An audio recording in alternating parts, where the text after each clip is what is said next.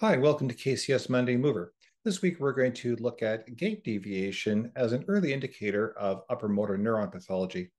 Now, I don't know about you, but one of my habits has always been to go to the waiting room, greet the patient, and then have them walk ahead of me down the hallway. This way I get to secretly watch the way they walk and they don't know it.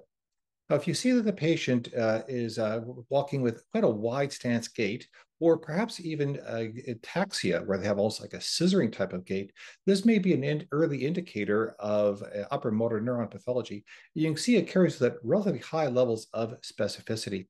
Hope this helpful to you in your clinical practice. Keep yourself and your patients moving, and come on back to KCS for more learning. Thanks for your time.